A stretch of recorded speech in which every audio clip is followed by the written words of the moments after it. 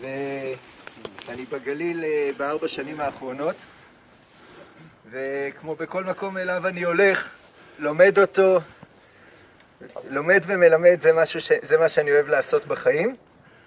אה, הזכרתי כי העמיתים שמכירים, אה, נפגשנו בירושלים, פתאום גם היינו פה איתך לפני שלוש שנים. כן, לפני שלוש שנים כשעברתי הגליל, עמית אמר, נו, עתידי ירושלים שתתרחב עד שערי דמשק, אנחנו רואים ככה את החרמון. אז... אה, גם היינו פה, סיור סליחות. סיור סליחות שהיה כאן, טיול הג'יפים לבתי הכנסת העתיקים, אבל הנושא של היום, יש לנו כמה גיבורים, זה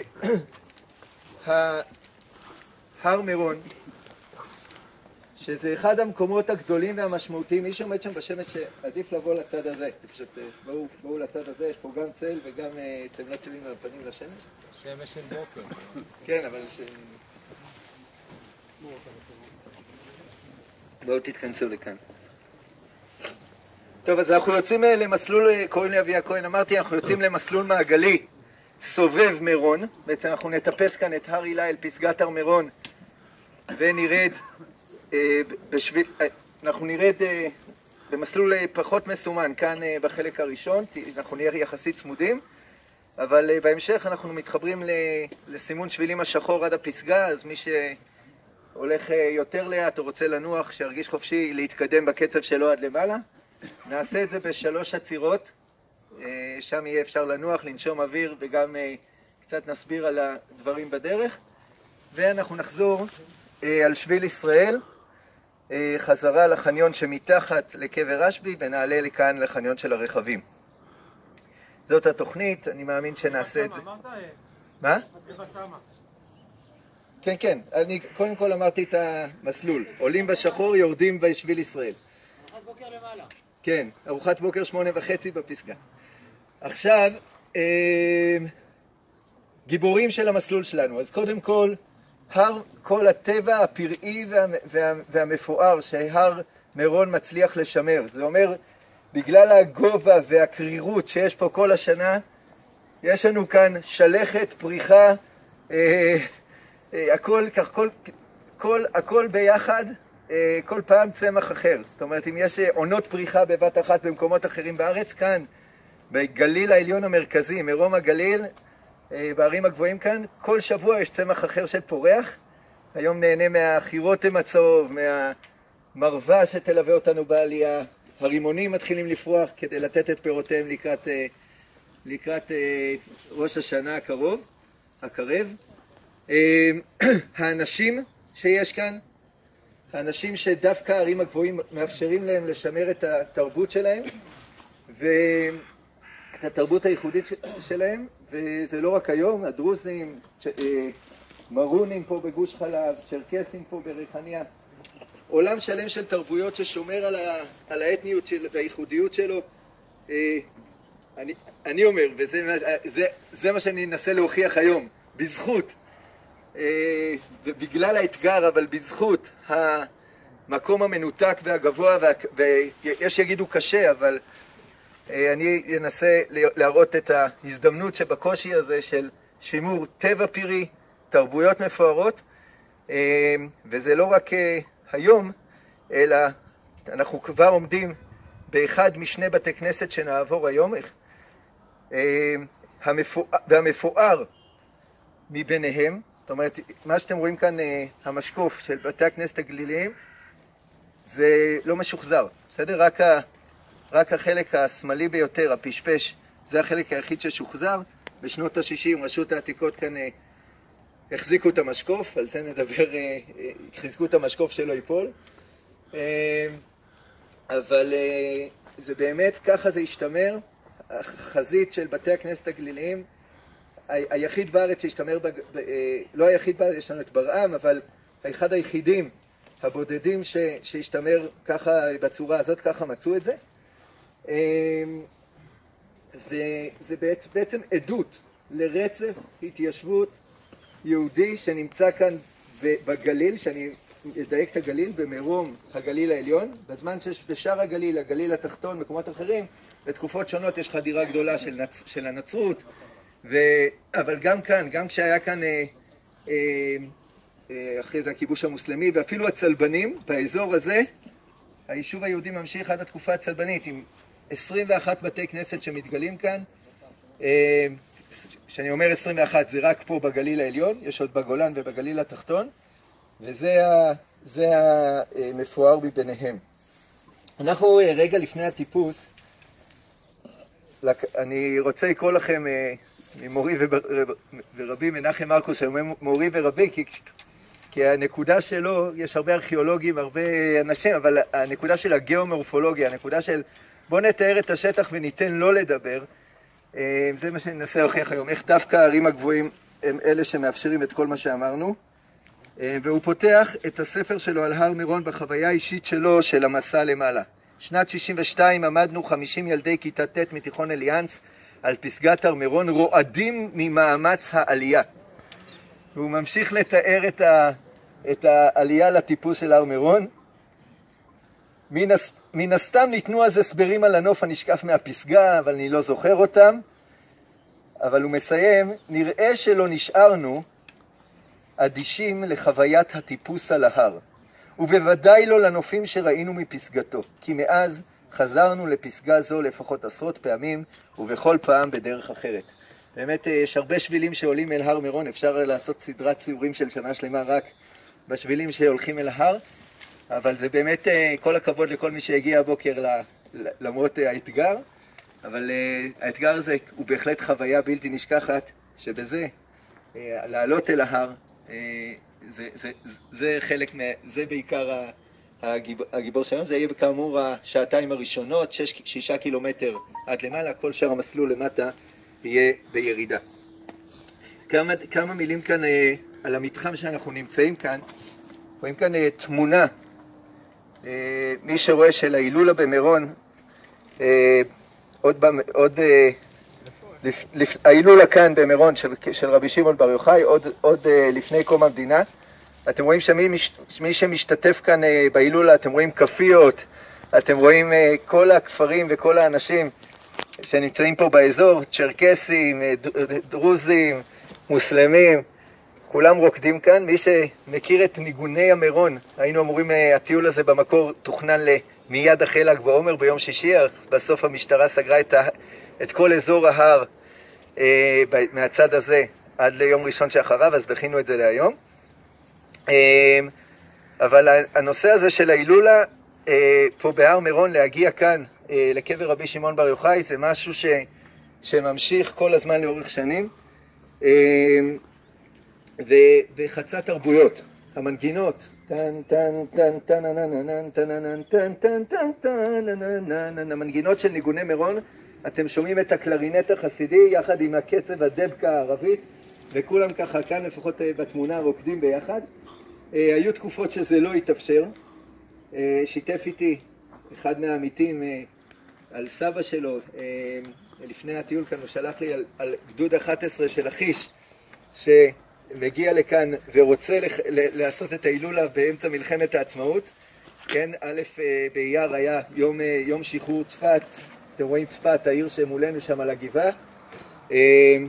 חמישה ימים לפני קום המדינה צפת נכבשת במלחמת העצמאות, ואחרי, ושבועיים אחרי ל"ג בעומר מגיעים לכאן ורוצים להיכנס, הם מקבלים אישור מההגנה, הם מקבלים אישור כבר מצה"ל רק אחרי ל"ג בעומר, כמה ימים אחרי ל"ג בעומר, ומתארים שהם מגיעים לכאן, רואים שאת הקבר רבי שמעון בר יוחאי שנמצא שם מאחור, מאחורינו, מאחורי העצים,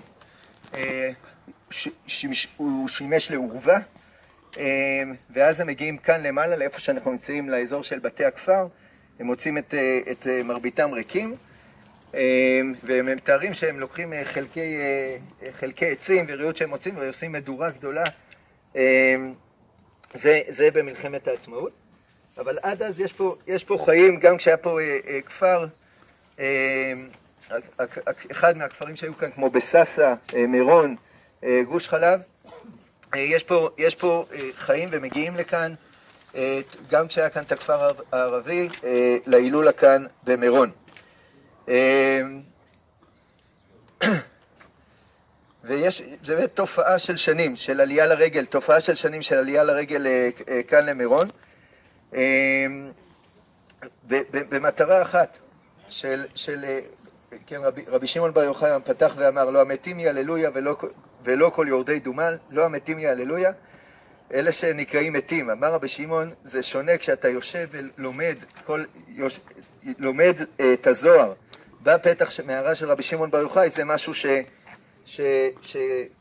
ששנים אנשים עולים לכאן אה, ומגיעים ולומדים כאן, במיוחד אה, בימים האלה של שבועיים אחרי יום העצמאות, התקופה של ל"ג בעומר.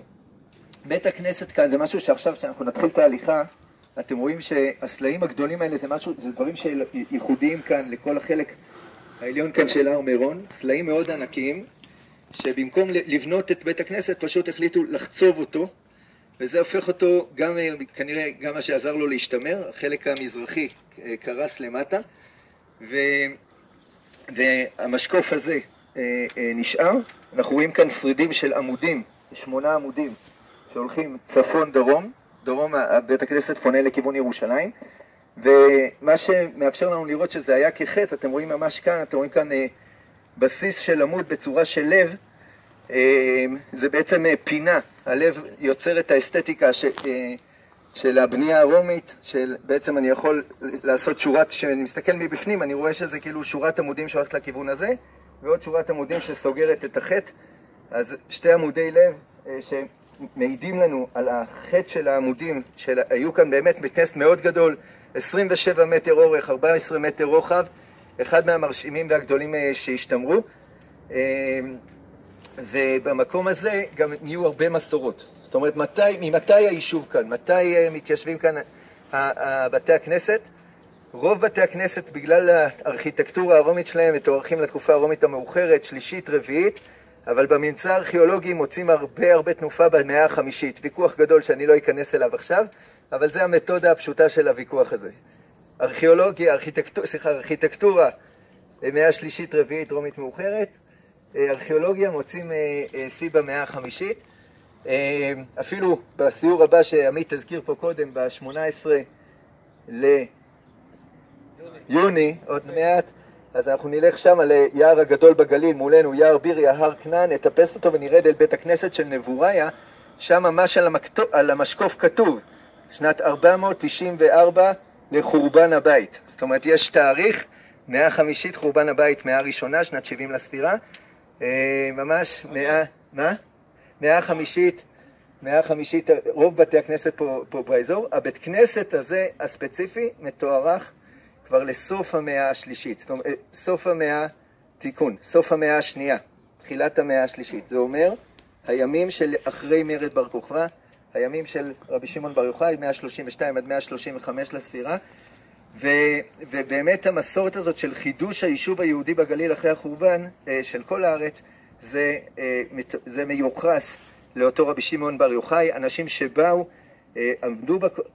קמו ממשבר, ממשבר של החורבן לפריחה של יישובית, וגם ציפו לגאולה, ולכן יש כל מיני מסורות שעכשיו אנחנו נרד אל שלושת המתחמים. מתחם אחד זה קבר רבי שמעון בר יוחאי, בית הכנסת העתיק שנמצא כאן למעלה, ועכשיו אנחנו נרד אל, אל, אל, אל המערות הקבורה שנמצאות כאן למטה והיישוב עצמו, קבר אה, רבי יוסי בן קיסמא, שאני אסיים בסיפור, אני לא אעצור שם שוב, אתם תעברו ליד הקבר, אה, ליד המערה, מערות הקבורה. הוא אומר שם שני דברים משמעותיים ובזה נתחיל ללכת. אחד, התלמידים שלו שואלים אותו, תגיד, רבי יוסי בן קיסמא, חכם שחי, אה, אני קורא ממסכת סנהדרין דף צ"ח, אומר, הם שואלים אותו מתי יבוא משיח. אז הוא נושא את העיניים למעלה ואומר, עד שהשער, השער הרומי, יקרוס ויקום, יקרוס ויקום, יקרוס ויקום, ויצליחו לבנות אותו, אז יבוא משיח. בקיצור, ייקח הרבה זמן עד שזה, ואז הם שואלים אותו שוב, אה, נו, תגיד לנו מתי. הוא אומר, אני אמרתי לכם, אני לא הולך להגיד לכם, אה, אה, לא, אני לא הולך להגיד לכם מתי יבוא משיח, ואז, ואז אז הוא אומר, בכל זאת, תן לנו סימן, עד שהמים במערת פמיאס יהפכו לדם, ובאמת המים במערת פמיאס אה, אה, אה, הופכים לדם, אבל אה, אותה מסורת של איזה שער של רומי שהולך, אה, שקורס, זה, ש, ואז יבוא משיח, זה גורם להרבה אנשים שמגיעים לכאן, אני מדבר על אה, עולי רגל, רבים, אה, התלמיד של רבי עובדיה בברטנורה בסוף המאה ה-15 ואחרי זה רבי משה בסולה מתארים את השער הזה, את המשקוף של בית הכנסת, אתם רואים שחיזקו אותו כי הוא סדוק, אבל בעצם אומרים שכשיש איזה מסורת שהמשקוף של בית הכנסת הזה ייפול, יבוא משיח, כרגע רשות העתיקות חיזקו אותו, אז כנראה שמשיח כרגע לא יוכל להגיע. אם ירצה השם הוא ייפול. מה? אם ירצה השם הוא ייפול. אם ירצה השם הוא ייפול, אבל זה באמת איזה...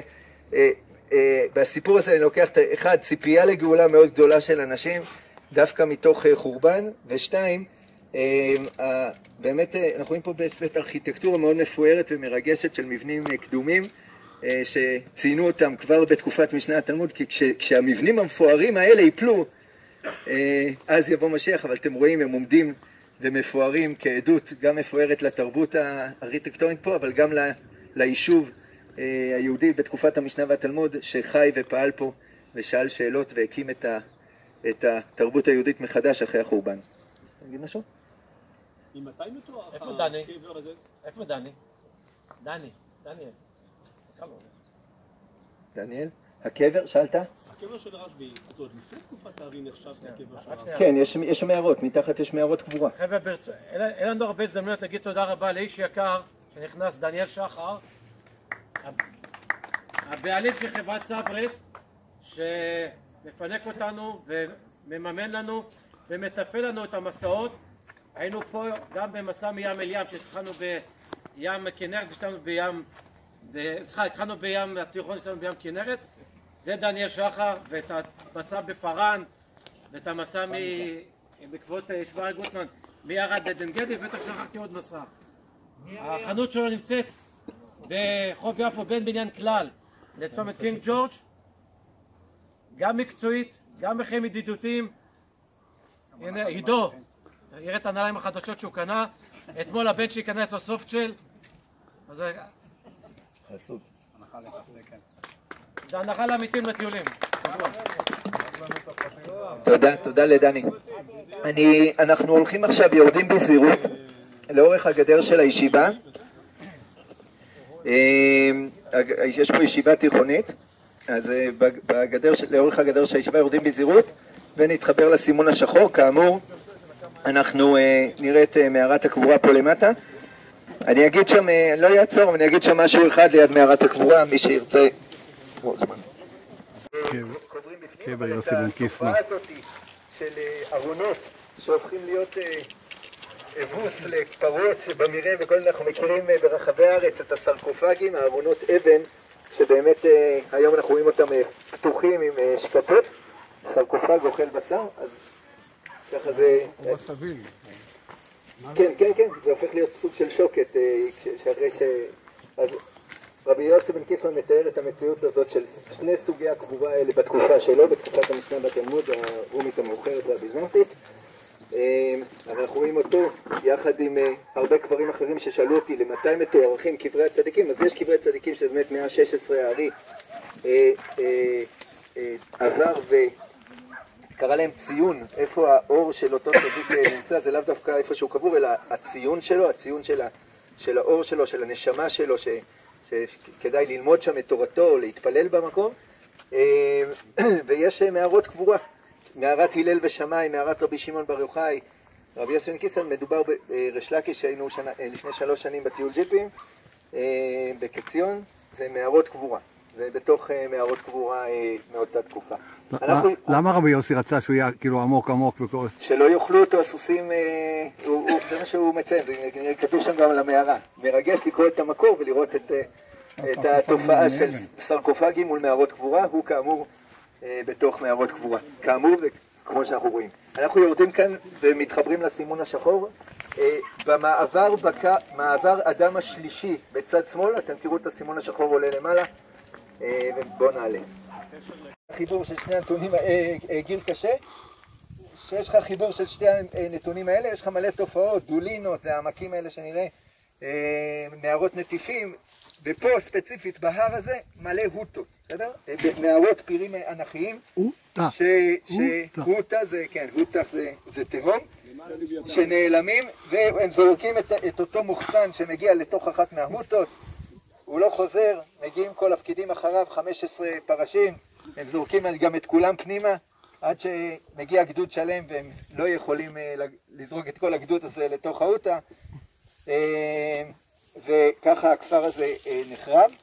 התיישבות, ככה זה סיפור של החבר'ה של בית ג'אן, התיישבות שיש כאן ב, ב, בתאריכים הידועים, כן, סוף המאה ה-18, עליית חסידים, אנחנו יודעים על רבי ישראל בק, בק, ראשי תיבות בעל קורא, שבסוף המאה ה-18 הוא בברדיצ'ב, רבי לוי יצחק מברדיצ'ב, מגיע, הוא קשור אני חושב לחסידות רוז'ין דווקא, חסור, והגיע לכאן, אתה מרוז'ין, נכון?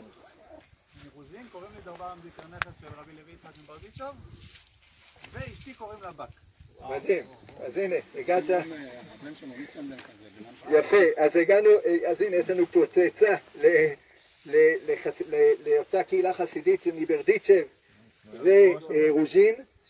שרבי ישראל בק מגיע מברדיצ'ה, מגיע לצפת, בהמשך הוא מגיע גם לירושלים, אבל כשהוא בצפת הוא עושה שני דברים חשובים. אחד, עושה הרבה דברים חשובים, אבל שני דברים. אחד, הוא. הוא, מרפא את אה, אברהים פשע, את. את המושל הטורקי, שנמצא בראשית המאה ה-19 אה, באזור, ושניים, הוא מקים שם בית דפוס, כמחווה.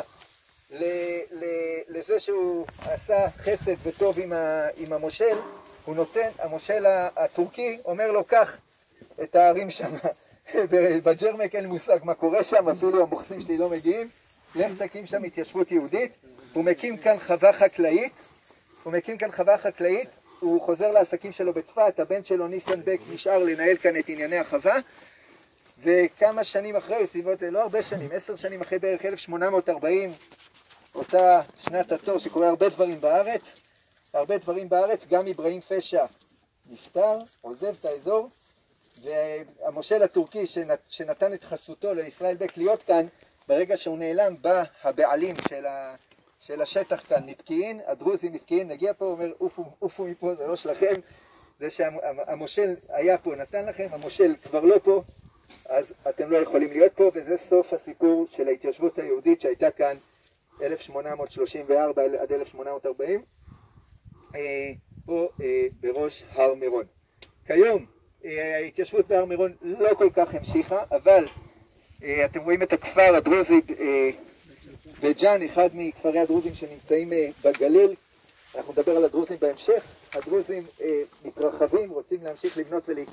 ולהתפתח, יש להם גם כאן מטעים באזור הזה, ובשנות ה-80, סוף שנות ה-80, יש פה ממש מלחמה אה, ממש קרבות אה, עם, עם רשות הטבע והגנים, אה, מצד אחד המדינה באמצעות חוקי שמירת הטבע מנסים לעצור את הבנייה, מנסים לשמור על, על, הר, על הר מירון כאחד מהשמורות הגדולות במדינת ישראל, יחד עם זאת הדרוזים צריך, בכל הארץ, כל הארץ, כולם פה בצפון, צריכים להתפתח וכולם גרים בתוך שמורות טבע, אז המפגש הזה בין האדם שצריך לחיות ולהתפתח לבין טבע ש, שצריך אה, להישאר פתוח לקהל הרחב אה, ולשמור עליו, זה, זה משהו שהולך ו... זה אחד מנקודות החיכוך הגדולות שלו כאן אה, בסיפור, בהר מירון, בארץ, נמצא כאן בהר מירון, בגבול בין בית ג'אן לגוש הרי מירון. איפה זה יבוא לידי ביטוי? אנחנו עכשיו חוזרים למעלה, חוזרים למעלה באותו שביל שהלכנו ומתחברים לשביל הירוק, שביל ישראל, ואנחנו נעבור דרך המטעים של הדרוזים, שאתם רואים שאחד הדבר, הדברים שנעשים היום בצורה מאוד רגישה, זה היום הפקח החדש של הר מירון הוא דרוזי בעצמו, אה, גר כאן למעלה, במבנה פה למעלה. כן, אז אני אומר, הוא, הוא, הוא אמור לנהל את כל המפגש הזה בין האדם לטבע. אה, אחד הדברים שתראו, שנראה זה באמת סללו, אם פעם היו מגיעים עם חמור לשדה, היום יש פה כבישים אה, סלולים אה, ממש אה, שאפשר להגיע, מה שמעלה גם את הערך של האדמה והקרקע של כל שדה פה בצורה יותר רצינית, כי גם כי עכשיו יש גישה וכבישים והכל, וזה אנחנו נלך על השבילים האלה. סיפור אחרון על המבנה פה שמאחורינו בהר רפאים, זה נקרא בית היערן, 1955. יערה, אדם בשם סבתי ממג'ל שם, טוב, ראינו אותו למעלה. אבל ראיתי שלפני עשר בבוקר, אז אמרתי אני אגיע כאן. מה זה כל המשפחה? לא, אה, רציתי לעצור שם, ראיתי שלפני עשר, אמרתי מה זה המשטח הזה? המשטח למה הוא שימש אני לא יודע, זה חלק- מהחורבות, אה, לא אה? יש פה הרבה חורבות, אתה רואה כאן אה, אה, ממל, יש יש פה המון... המבנה שנמצא כאן למעלה אה, שימש אה, כבית היערן, אותו יערן של קק"ל ששמר כאן מפני שרפות, זה היה דרוזי במג'ל שמס ב-1955, להזכירכם מג'ל שמס זה סורי, אוקיי? זה בתוך סוריה, והוא היה סוכן ישראלי, האיש שלנו לא בדמשק, אבל האיש שלנו במג'ל שמס. אה, מגלים אותו הביון הסורי, הוא נאלץ לברוח במבצע חילוץ נועז, מצליחים להוציא אותו מסוריה, ממג'ל שמס לתוך ישראל, וכדי להסתיר אותו, איפה אפשר, בן אדם יכול לשמור על עצמו הכי הרבה, אמרנו, כמו רבי שמעון בר יוחאי שברח לפה, כמו הצ'רקסים, כמו המרונים, גם ספדי יישב וישמור על עצמו פה בראש הר מירון ולכאן אף אחד לא יגיע אליו. בסוף אה, אחד המחבלים הגדולים מהכפר ערבה שאסף הרבה פיגועים פה באזור, גם אה, בשנות ה-60 היה לו פה פיגוע באזור ליד חורבת חממה, אה, מוצא אותו, מתנקש בו, ומתנקש בו, ו, אה, וכאן, והוא, והוא מת, והוא נהרג. אה, והיום אה, מי שגר כאן זה, זה, זה היום שייך לרשות הטבע והגנים, לפיקוח כאן. יכול לעבור פעם? זה בעירום, בעירום. בעירום. אוקיי, אפשר לשטוף את הראש במימי הבאר.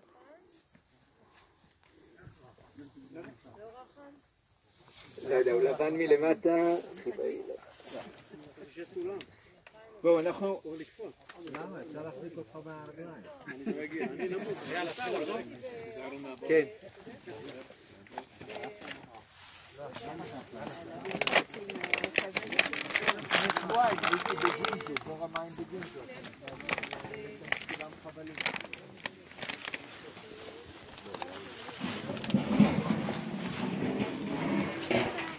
אבא, בוא.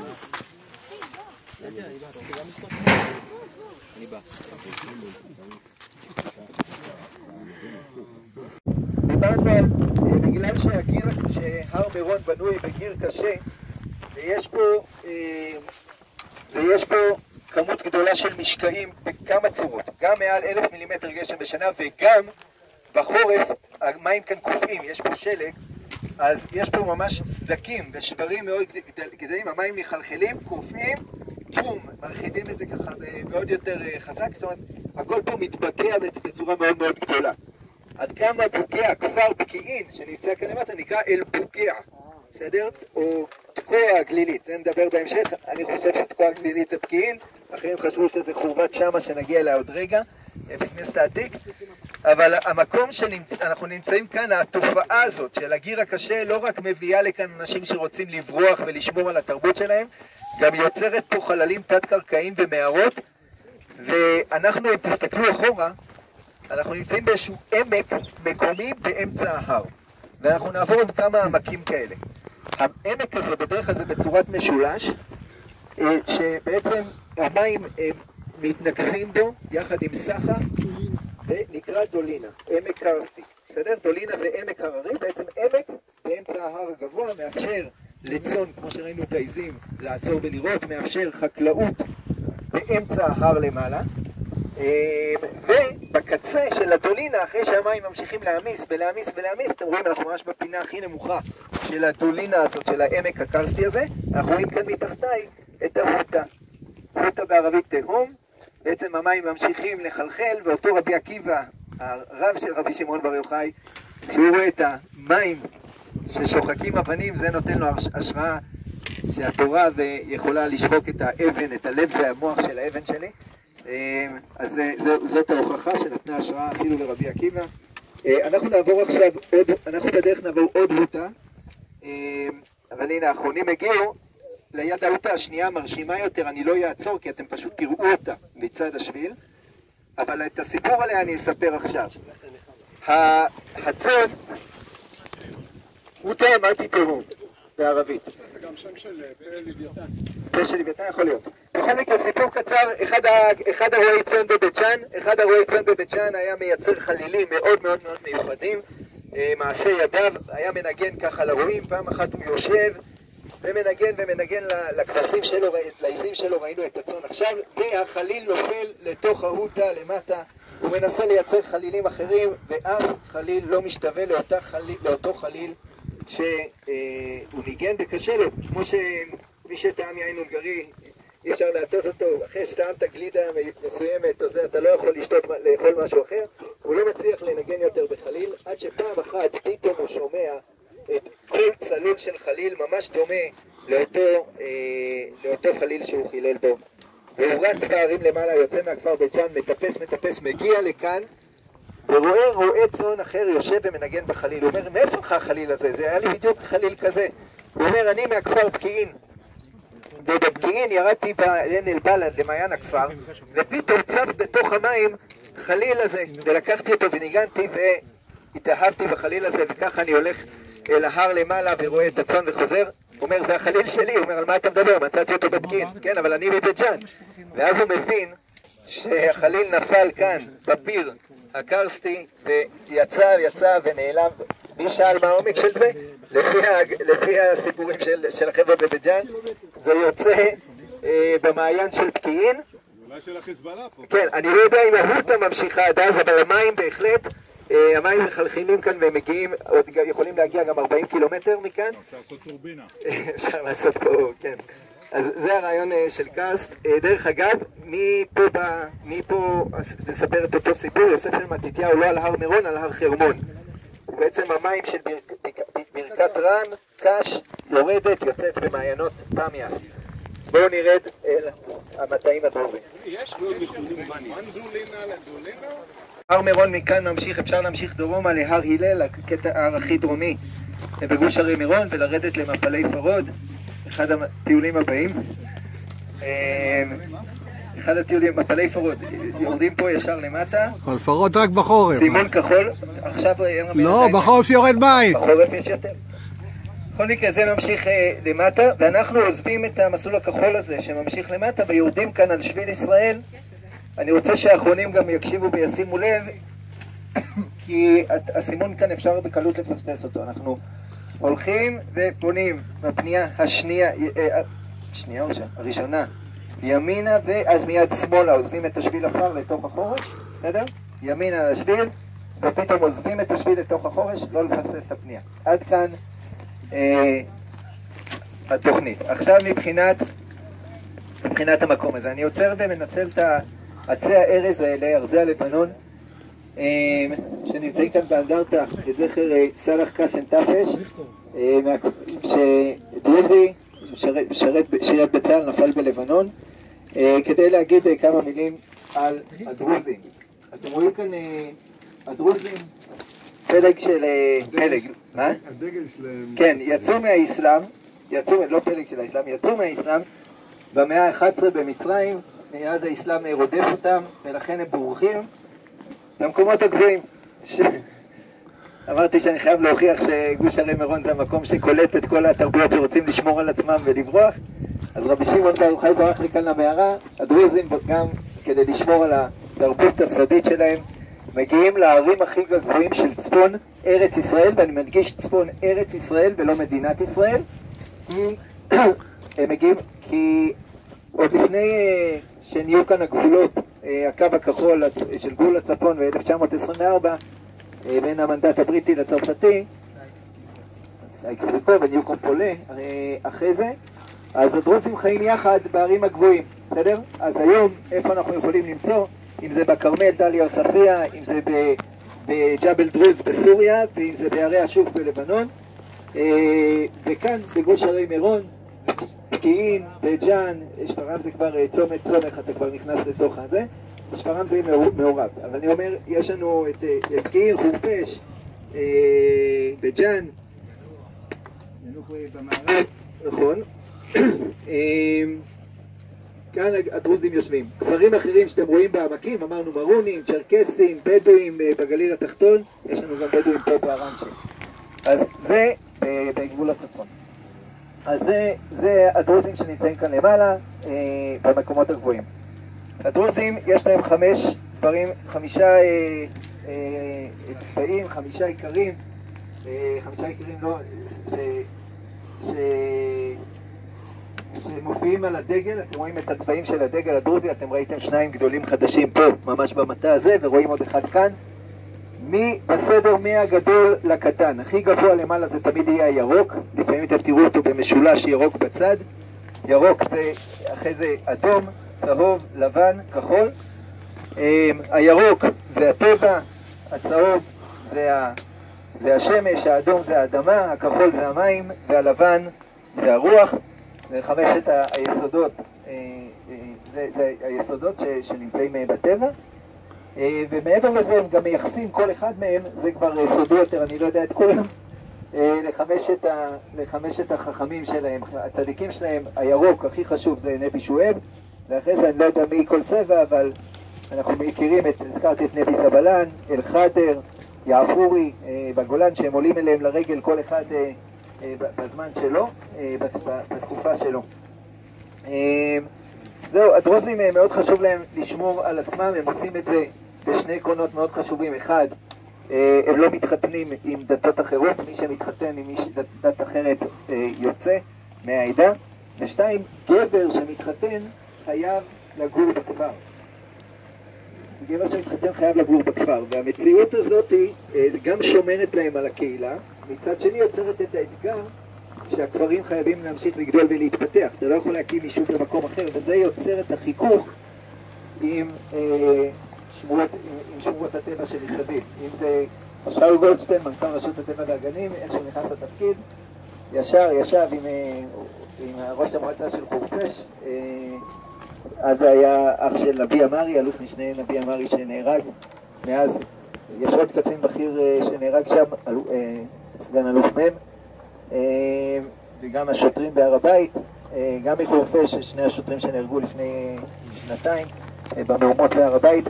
בקיצר, הדרוזים מאוד מאוד אה, אה, שומרים מצד אחד על הייחודיות שלהם, שמצד ש... ב... ביחד עם זאת מאוד מאוד מעורבים ונאמנים ללאום שהם נמצאים בו. וכאן השאלה איך אתה מייחס לאום, ואני מתייחס כאן עכשיו למה, למה דווקא הדרוזים, אני לא מדבר עכשיו פוליטיקה, מניפולציות וכל אחד מה הוא יכול לעשות מזה, אלא בפשטות קצת להבין למה כאילו הדרוזים, זה, זה, זה, אני משער למה זה דווקא נגע בהם כל כך uh, קשה.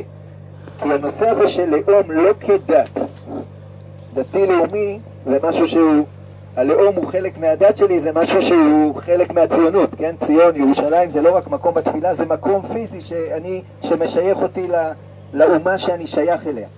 אצל הדרוזים זה הפוך ולכן זה כל כך לא יסתדר להם ההגדרה. אצל הדרוזים, אני מצטט את אחד המנהיגים הסורים הגדולים שבמוצאו דרוזי, מג'אבל דרוז, שהוביל את, ה, את סוריה לעצמאות מול הצרפתים, זה סולטן אל-אטרש, אתם מכירים אותו על הסוס בכניסה לחורשש ועל הסוס בכניסה לדליה ומג'דל, אתם מכירים אותו ב, ב, ליד המעיין בפקיעין עם הג'לביה והחרב, והוא אמר משפט, הדת לאל, האומה, הלאום, לכל. זאת אומרת, במי שאתה מאמין זה בינך לבין האלוהים שלך, ולכן הדת שלנו סודית, אני לא, אני לא אפילו מספר לך מה, למי אני מתפלל ובמה אני מאמין, וגם אסור לי, דרוזי, לא רק לך, גם לדרוזי שלא מקבל על עצמו להיות חלק מה... מה מהחוק שקורא את את הספר- ספרי החוכמה, אסור לו לקרוא בספרים האלה, אסור לו לדעת מזה. גם- גם- גם חוץ מהחמישה הראשיים, יש הרבה- הרבה דברים שהאנשים הפשוטים לא יודעים. הרוב, הרוב כן, הרוב, אה, הר- הרוב לא יודע. אה, בגיל 15 אתה צריך להחליט האם אתה בפנים או בחוץ. אה, זאת אומרת, האם אתה יכול להיכנס לתוך ה- בית התפילה הדרוזי, ה- החילווה. אה, החילווה, סליחה, חילווה זה יפה, חילווה זה בודד, מבודד, וזה חלק מהעניין, שאני לבד, אני, אני, אני מול האלוהים שלי, אבל מחוץ לכפר, מחוץ לכפר, הדת לאל בפנים, בתוך הכפר, אבל האומה לכל. מחוץ לכפר אני חלק בלתי נפרד. מנהל בית החולים בצפת זה דרוזי. אה, רסן עליאן, ראש קצין אה, חי"ר וצנחנים ראשי, התחלף כבר? לא יודע. אה. עכשיו הוא זה, בא, אה, נכון, עכשיו הוא התחלף עכשיו, הוא במינהל... אה, במינהל אזרחי. אה, בכל מקרה, הזכרתי את נביא אמרי, הזכרתי אחרים, הדרוזים תופסים תפקידים מאוד מאוד בכירים, לא רק בישראל, בסדר? הזכרתי בסוריה את אה, סולטן אל-אטרש, בלבנון בשנות ה-70 כמאל ג'ומבלט, בסדר? כל אלה בדת שלהם הם דרוזים, בלאום שלהם, באומה שלהם, הם חלק מהמדינה שהם נמצאים בה. ולכן גם הרבה משלמים מחיר אה, מאוד גדול, הרבה הרוגים, הזכרתי את אלה שנהרגו בשנים האחרונות, אנחנו ליד אנדרטה של שנות ה-90 בלבנון, אה, והם עשו אה, תת-אלוף, אה, שכחתי עכשיו את שמו, נבי מרי. לא, הוא חי, תת-אלוף במילואים, הוא, הוא הוביל את כל הסיפור הזה עכשיו של חוק הלאום, אה, לא פארס. הוא הוביל את ההפגנות. הוא הוביל את ההפגנות. כמאל אסד. אז הוא גם לפני שהוא הוביל את ההפגנות, הוא, הוא עשה את אה, שביל הבנים. בסדר? הוא בעצם יצר שביל שמחבר בין הכפרים הדרוזים, שמה שמציין אותו זה הבנים הדרוזים שנתנו את חייהם בשביל מדינת ישראל. אה, הצבע שלו, הצבע של הסימון זה הצבע של הדגלים, הדגל הדרוזי, ששוב הוא דגל של דת ולא דגל של לאום. בסדר? אה, אז זה הדרוזים, יש עוד, אה, נספר להם שיש למישהו שאלות, משהו?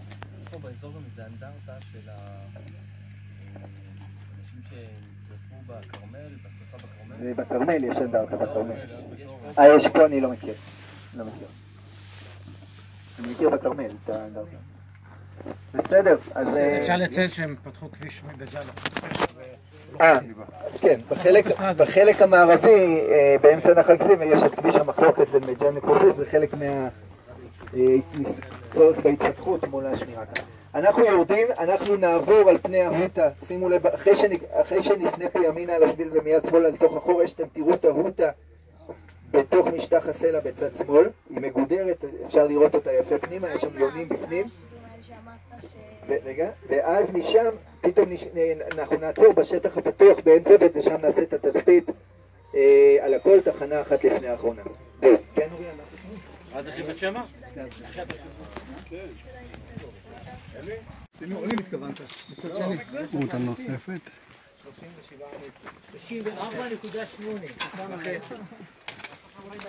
וחצי. זה מה שהוא אמר. איך זה נוצר, הוא אמר? מים. מים וקרח.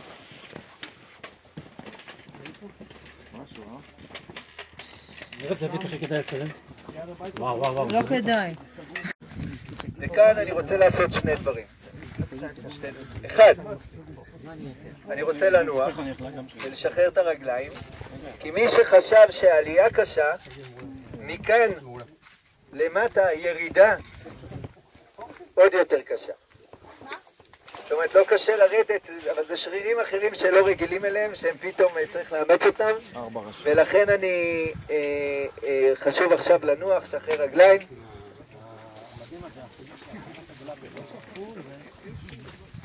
ואני רוצה לדבר פה על שני דברים, אחד זה על המים, ושתיים זה על התצפית. אז נתחיל עם המים, המים כאן של עין זבד, אמרנו שבהר מירון למעלה, השטח מאוד מישורי, מאוד אה, במתי. ראינו שהלכנו בשבילים, היה שדות, ממש הר מירון הוא מישור, לעומת הירידות שלו מכל הצדדים שהן מאוד מאוד תלולות. והסיבה לכך היא בגלל שאנחנו מדברים פה על, על גיר קשה שנמצא כאן למעלה. אה, כל האזור שאנחנו רואים מתחתנו, של פה המתלולים כאן של נחל עמוד, וקודם ראינו את המתלולים של נחל דישון, לכן היה חשוב לי לעצור שם. ואחרי זה הראיתי לכם את לכיוון אה, נחל כזיב. הכל נחלים עמוקים ומחורצים. זה בגלל שהמים במדרונות האלה פשוט שוחקים את האבנים שחקו מים, המים שחקו את האבנים ובעצם הנחלים מתחתרים, מתחתרים, מתחתרים בתוך הסלע הקשה וצוקים מאוד גדולים גם של נחל עמוד וגם של זה. באזור כאן למעלה המים פשוט מחלחלים פנימה. ראינו את הכמות של ההוטות וה... וזה סלע, גיר קשה מאוד נקבודי. תראו את הסלע שאתם יושבים עליו עכשיו, אתם רואים ממש, אה, אתם רואים גם שושיות כאלה, חור, חורים, ככה שרוב, מה? באנה אני חושב, החלק המערבי לפחות. אבל, אבל החלק, מוצא זה צוקי כזה, שם במוצא זה... אז אני אומר, הצנירים המצוקים שם במוצא, במוצא זה כאילו כל המעיינות יוצאים שם מתחת ל... ל יש את הצוקים ואז אחר כך עבר. אז פה פשוט המים מחלחלים בגיר הקשה ישר פנימה, אלף, אלף, מטר, אלף מילימטר בשנה, אה, ש, ש, שנכנסים פנימה, אז אין פה נגר עלי, בסדר? בחלק העליון בקושי יש נגר עלי, ולכן השטח פה מאוד ישר ולא מחורץ. לעומת המתלולים והנחלים של נחל עמוד, דישון במזרח וכזיב במערב. מה כן יש כאן, והמים מחלחלים למטה, וכמו הסיפור קודם שסיפרנו באוטה על הבדואים החליל, הם יכולים להגיע 40 קילומטר מפה לנקודות של השבר, אם זה שבר פקיעין, עם כל המעיינות של בקעת פקיעין- אם זה שבר אלקוש, עם כל המעיינות של עין זיו ונחל כזיב ועין תמיר וכל האזור שם, ובמזרח כל המעיינות כאן, מעיינות גן עדן של בריכות צחבי ונחל עמוד אה, ועין ערבות וגוש חלב, כל המעיינות שנמצאים אה, בקו שבר הזה ש, שיוצא מהדישון, אה, בין המירון לבין הבמות שנפרסות לנו כאן. ושם מגיעים כל המים. איזה מים כן יש לנו למעלה? אם זה באר אום שראינו למעלה, ומה שמאפשר כאן באר במקום כל כך גבוה, זה שכבת מי, מי תהום יחסית גבוהה, כי יש כאן אה, בחלק הזה, הבמתי המזרחי, יש פה גם שכבות של, אה, של שכבות אטימות יותר, של קרטון רך וחרסית, אדמה קצת יותר חרסיתית, אתם רואים את זה גם בצמחייה, שעכשיו היא יותר, הרבה יותר פתוחה, הרבה יותר, אה, אה, כאילו, אין, זה לא החורש הקשה שראינו, ש, ש, הסבוך שראינו על הגיר הקשה, וזה יוצר איזשהו מי תהום, אני אקרא לזה יותר עדשות מים כאלה, תת-קרקעיות, שבעונות טובות גשומות אז יש מים, כמו שאתה מרגיש, אפילו כאן, אה, אבל בעונות אחרות המעיין כאן יכול להיות יבש לחלוטין. אוקיי? ולכן בעוד חודשיים הוא... לאו דווקא, כי עכשיו היה לנו לא רק חורף טוב, היה רצף של כמה חורפים, ולכן גם מעיינות שלגמרי, לכו היום לנחל בצת, הוא, הוא פשוט בריכות לאורך כל הדרך. זה היה פשוט כיף. גם, גם ש- דרך אגב, שימו לב, המסלול שם, המים שינו שם את התוואי של המסלול, כי זה היה, היה איזשהו רצף של כמה חור- אה, חורפים מאוד חזקים, שהם אפילו החיו מעיינות שכבר אה, אה, התייבשו. אה, אז כאן בגר- אה, עין צוות שאנחנו נמצאים פה, פה, פה עכשיו, זה מים ש, תהום מאוד גבוהים שפשוט הם בשכבות שמשתלבות כאן בין הגיר הקשה לגיר הרך, אבל בחלק הגבוה של הר מירון. זה לא המעיינות הגדולים של נחל עמוד שלוקחים את כל המים שחלחלו כאן למטה. אז זה לגבי המים אה, אה, בהר מירון, ואולי במה שאמרנו פרק יהושע, פרק י"א, מי מרום אה, אותו הר מירון נראה מכל מקום, בהחלט אה, נקודת ציון ש- ש- ששואלים כולם איפה המי מרום הזה, אז ייתכן שמדובר אולי במצודות האלה שהזכרנו קודם, מתקופת, אה, אה, יש פה שרידים מתקופת הברונזה הביניים, מתקופת האבות וגם אה, אה, תקופת הברזל, תקופת ההתנחלות, ברזל אחת. אז יכול להיות שבקרב הגדול שמתואר בין יהושע עם מלכי- הצפון שנמצאים כאן, אה, מתואר במי מרום, ייתכן זה השם כאן של מרום, אה, אולי מירון, אה, והמים שיוצאים מסביבו. תצפית. אז ראיתי את הכנרת זו, אה, זוהרת בטורקיז קודם, עכשיו יש אובך, אבל עוד רגע אנחנו נתחיל לרדת ואתם תראו אותה שוב בצד ימין. משמאלה אנחנו רואים כאן את כל אה, ההר הזה שמולנו, זהו הר כנען, 900 מטר מהתנאי הים, הר עדנית, וזה אה, למרגלותיו בחלק הדרומי, הקרטון הרך, אה, יושבת העיר צפת, אה, שהתחילה מהחורשה למעלה במרכז של העיר צפת, אני מדבר על, רק על החלק הימני, הכי ימני דרומי של הרכס, זאת העיר צפת, מתחיל כמצודה צלבנית, ואחרי זה ככפר אה, ממלוכי, לא, התחילה כחווה חשמונאית. אה, אולי, בסדר. יש שטפנסקי, עזוב. אני יודע, הוא אומר את זה, אבל עדיין, עדיין, אני מחכה לחפירות שנגיע לחווה. יש אזכור חשמונאי. אזכור, אזכור יש תמיד, ספף וזה, אבל אני מחכה לחפירות. כרגע מה שרואים בשטח אה, אה, מתחילה כמצודה. איפה היה היישוב היהודי עד המצודה הצלבנית? אמרתי, גוש חלב, ג'יש, אנחנו רואים פה בקצה הכי שמאלי, הכפר הגדול שם, עם שני בתי כנסת עתיקים, מרכז, יושב על צומת מרכזית בין נחל דישון לבין, בצפון לבין נחל עמוד במרום, בדרום, זה היה המרכז של היישוב היהודי, ואני מפנה אתכם לבד למקורות הרבים על גוש חלב, גם אצל יוסף ומתתיהו, יוחנן מגוש חלב שמגיע עד ירושלים, שהיה עשיר גדול בזכות הזיתים שהיו כאן, עד לגמרא אה, שמתארת על אנשים מצור, יהודים, הקהילה היהודית בצור שרוצה לשמן זית, סוחרת, אה, סוחר, ברוקר כזה, שילך לחפש אה, כמות גדולה של שמן זית, הוא מחפש בכל הנמלים, אומרים לו, אתה רוצה כמות כזאת? רק במקום אחד, גוש חלב. אומרים לו, שב, תחכה בחדר המתנה עם איזה אמבטיה כזאת אה, לסוך את הרגליים בשמן זית עד שנתפנה. זה היה תרגום חופשי של הסוגיה בתלמוד על אנשי לודקיה, לטקיה בצפון מערב טורקיה, היה בחדשות בכל הקרבות בטורקיה. אה, העלאווים יושבים שם באזור הזה, וה-12% עלאווים שבסוריה יושבים בחלק שם. משמרת לטקיה זה לודקיה שמוזכרת בגמרא, שהם אלה שבאים לפה לגוש חלב לקנות שמן זית. בכל מקרה, מרכז מאוד גדול, מאוד עשיר. מה? מנחות. אה, תודה שהזכרת את המקור. אה, ותזכיר לי שוב את מנחות, כי לתחנה האחרונה שלנו הבאה, אה, חורבת שמה. אז, אז זה, זה, זוהי צפת. וצפת הופכת להיות עיר מחוז של פונדוק דמשק, של החלק הצ, הצפוני של, ה, של, של, של האימפריה הטורקית במאה ה-16, וכל הסוחרים היהודים אחרי גירוש ספרד וגם מקהילות אחרות ממצרים, כמו הארי שהיה סוחר בסמים, כמו עכשיו אנחנו ערב שבת, אז בואו נזכיר כמה שירים שכולם אה, מכירים. אה, אם זה ידית נפש של רבי אלעזר אזכרי, הוא כותב את זה במלון בצפת כשהוא בא לשוק להיות סוחר. רבי ישראל נג'רה, שבא מסור מחלב, עד אה, מגיע לצפת, כותב את יא ריבון עולם.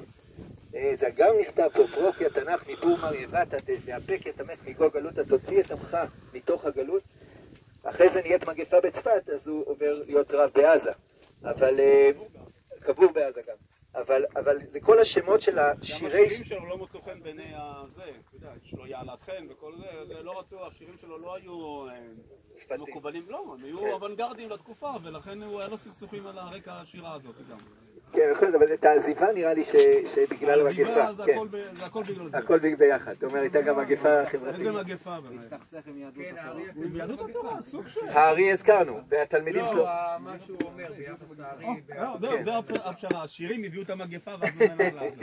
אה, רבי שלמה אלקבץ, התלמיד של הארי. כולם זה רחובות, כל מה שאמרתי זה, זה שמות של רחובות בצפת, שהכל מסביב בכנסת הארי. רבי שלמה אלקבץ, הכל, זוהי צפת, וכולם מצפת יצא זמירות השבת וקבלת השבת לכל העולם, אה, אה, לכל קהילות ישראל בעולם. אני עולה מצפת שמאלה, אני מגיע לשיא גובה של הר כנען, וכל מה שאנחנו, אה, אנחנו רואים שם את פיקוד צפון במחנה מישר שיושב בצפת. מה? מעבר אני אגע עוד רגע. השפיץ זה תל פארס, אני אגע חלק מרכס הטילים של, הגולן, אני אגע, אני אגע בהמשך, אבל אתם רואים את כל היער הזה, זה היער הגדול בגליל, השני בגודלו בארץ, הגדול בארץ זה יתיר, בסדר?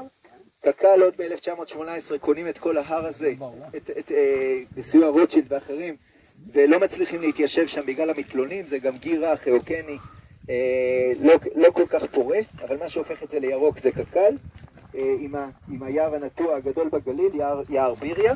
18 לשישי אנחנו יוצאים לשם בסיור בין ארבעים, יום חמישי אחר הצהריים בערב.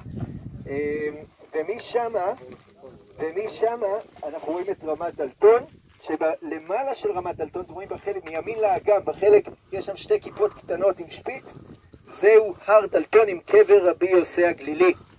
קבר רבי יוסי הגלילי ביהודה בן תימה, עמית תרשום לך גם משם, זה הטיול שאמרתי לך שאנחנו הולכים משם, יורדים למערת תלמה ומסיימים בריחניה, אוקיי? מסלול אה, מדהים של הר אבל מה זה אביתר. הכפר מימין של ה... עשינו את זה עם ג'יפים מלמטה, אמרתי שאז הכפר- כשנסע מה- מלמטה. הכפר מימין שלו? זה מושב דלתון. הימני. מושב דלתון והר דלתון ורבי יוסי הגלילי מעליו, ואני סוגר את התצפית עם אה, אזור התעשייה של דלתון, שמי שרוצה כשנסיים יכול לקפוץ לקנות אה, יין, יקנה דלתון, או יין רימונים שהם עושים מהרימונים ליד, ויש עוד הרבה דברים. וגם גבינות. שם, מחלבות גז. מחלבות גן, וכרם בן זמרה, וזה סוגר לנו את רמת דלתון. הרמה הבאה מעל, שהיא רמה בהירה וחשופה, זוהי רמת ירעון.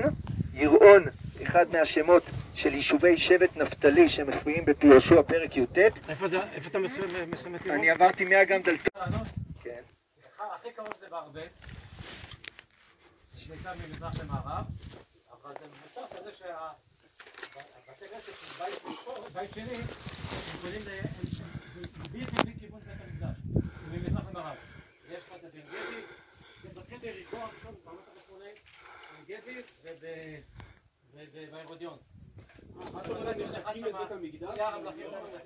אני, אסגר, עמית אמר עכשיו משהו משמעותי שהכיוון של בית המקדש היה מזרח-מערב. נכון. אז אם כנסיות, לא משנה איפה הם בארץ, פונים, עושות אה, אה, מזרח-מערב, אבל פונות מזרחה, ובירושלים זה פונה מערבה, הפוך, לכיוון קודש הקודשים, אה, זה, זה כיוון המבנה. באמת, כיוון התפילה הוא לא, הוא, לא, הוא לא מזרח, לא מערב, לא צפון, לא דרום, זה תלוי איפה אתה עומד, ככה הגמרא במסכת ברכות אומרת, נמצאו ליבותיהן של כל ישראל מכוונים למקום אחד. תל פיות, תל שכל פיות פונים אליו, זה ירושלים. אז, אבל הצורת המבנה, הארכיטקטורה שלו, יש איזה, בגליל היא הייתה צפון דרום, כי הפתח פונה דרומה. עמית ציין שיש איזה גם, יש ארכיטקטורה ששימרה את קדושת המזרח מערב בארכיטקטורה, לא בכיוון התפילה. וזה אחד מהם, ולכן.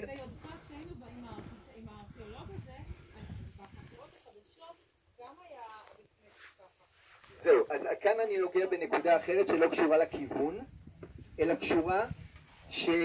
שלא מתפללים לכיוון המשקוף, כמו שעשינו הבוקר דרומה, אלא זה נקרא העמדה רוחבית, בסדר? במקום אורכית רוחבית, איפה כנסת שבנוי אה, לרוחב, ואז ה- ה- הכיוון התפילה הוא דווקא לממד הרחב ולא לממד הצר, ברור?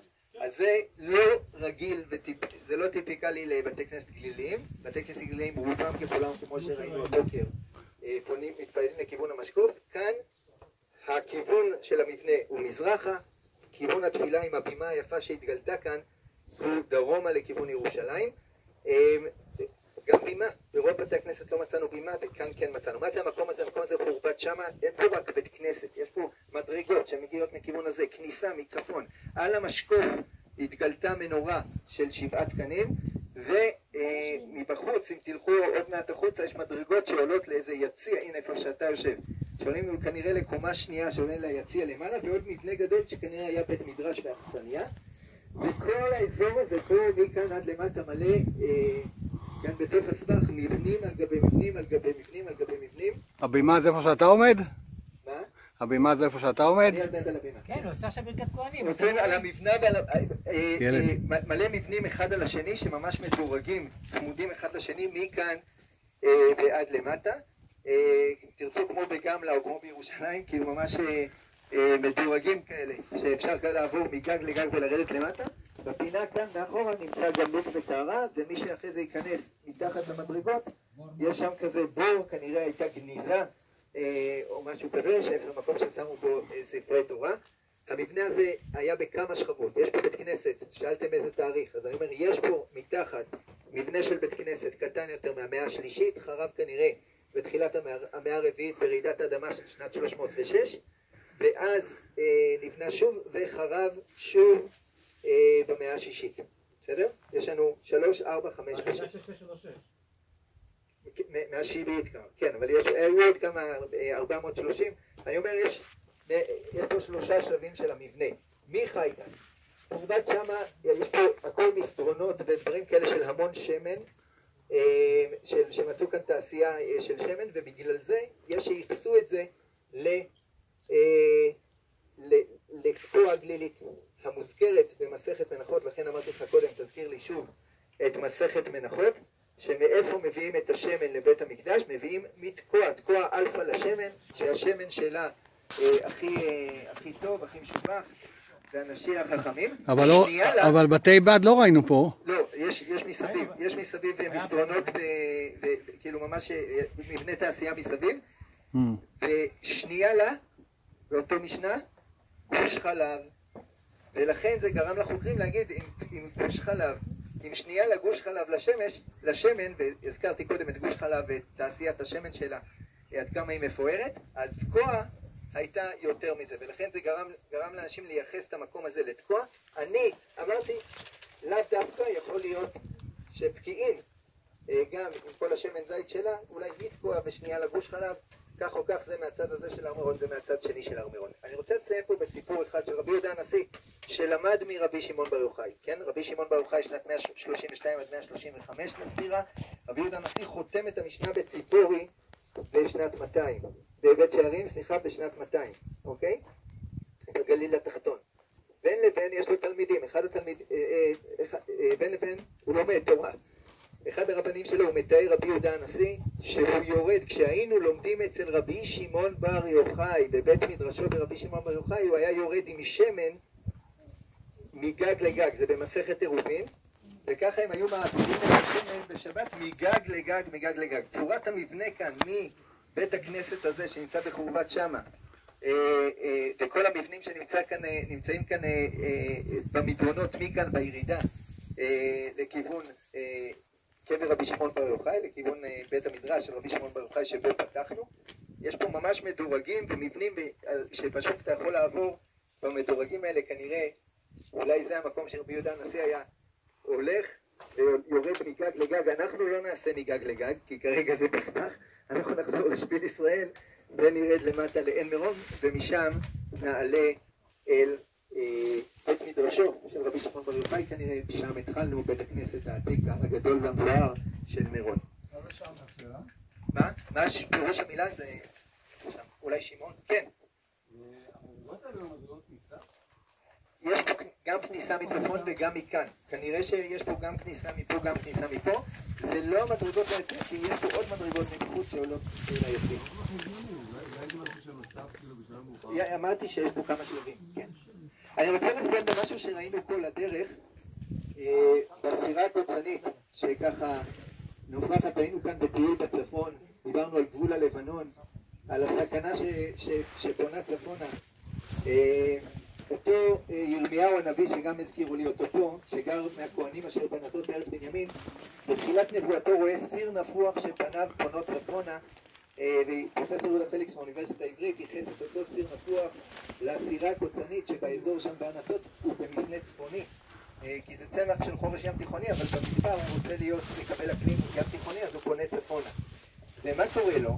הוא פשוט נפוח. אתם רואים שהפריחה שלו היא מתנפחת והופכת לכדורים כדורים נפוחים. אז בתוך כל מה שדיברנו של משבר וגאולה, חורבן ותקומה גם של אנשי צפת שציפו, כבר בימי התנ"ך עם הסיר הנפוח הזה, המלאך אומר לנביא, אומר לירמיהו, הקדוש ברוך הוא בעצמו אומר לירמיהו הנביא, כך, מה אתה רואה ירמיהו? אתה פותח את העיניים וקודם כל לשים לב, לראות מה קורה מסביב. אחרי שראינו וראינו מה קורה מסביב, יצאנו לשטח, עכשיו צריך להבין מה זה אומר. אני רואה סיר נפוח, אבל מה זה אומר? מצפון תיפתח הרעה, אבל בהמשך, הסיר הזה, תראו, תראו מה קורה לו כשהוא מתייבש, אוקיי? זה כבר ייקח לו עכשיו כמה שבועות עד uh, ימי בין המצרים, י"ז בתמוז התשעה באב. בימים האלה ממש של י"ז בתמוז התשעה באב הוא פשוט מתייבש, ובלי צורך לעידוד שלי, אלא איך שקוטפים אותו, ברגע שאתה קוטף אותו, פשוט כל אלה מתפזרים. מי שהיה איתי בהתחלה ראה אותם מפוזרים כבר לרצפה. עכשיו אני הצלחתי לקטוף אותו בלי שיתפזרו, אבל בדרך כלל בעונה של בין המצרים, אתה כותב אותו, הם ישר מתפזרים. וזה אולי מה שאני הבנתי מהשטח, מה שלא כתוב בתנ"ך, מה שאולי הנביא, רוצים להגיד לירמיהו הנביא. אני הולך לקטוף אתכם, מצפון תיפתח הרעה, אבל ברגע שכתבתי אתכם אתם הולכים להתפזר לכל כך הרבה עדות, לכל כך הרבה קהילות, לכל כך הרבה בתי כנסת ומקדשי מעט שאתם הולכים להקים ברחבי הארץ והגליל, ברחבי העולם, אבל הדבר הזה זה גם זרעים לתחילה של בנייה. אז תודה לכם על שהקדשתם את יום שישי, ושראינו מחורבן של בר כוכבא והמקדש בירושלים למקדשי המעט שקמו וצמחו כאן בגליל, במקום שהוא קשה פיזית, אבל מאוד יש פה הזדמנות לשמר תרבויות שונות. תודה ושבת שלום. שלום. חבר'ה, תדעו שהביאה הוא